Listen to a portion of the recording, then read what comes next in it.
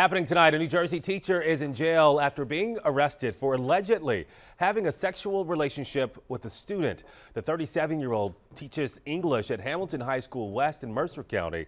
New Jersey correspondent Trish Hartman has the latest on this investigation.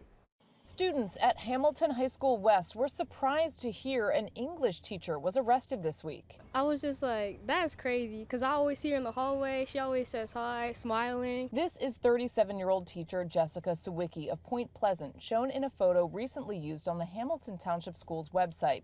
The Monmouth County prosecutor alleges she had a sexual relationship with a student and on several occasions had encounters with the student here at the Assunpink Wildlife Management Area, about 20 minutes from the school. I think it's terrible.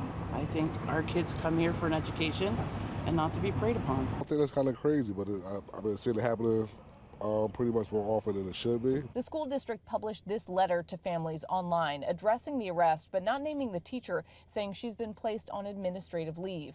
It says, quote, the alleged incident goes against our professional standards as a school district and is far removed from the expectations we have for the personal conduct of an employee. We reached out to the school district today for further comment, but we were referred to that letter.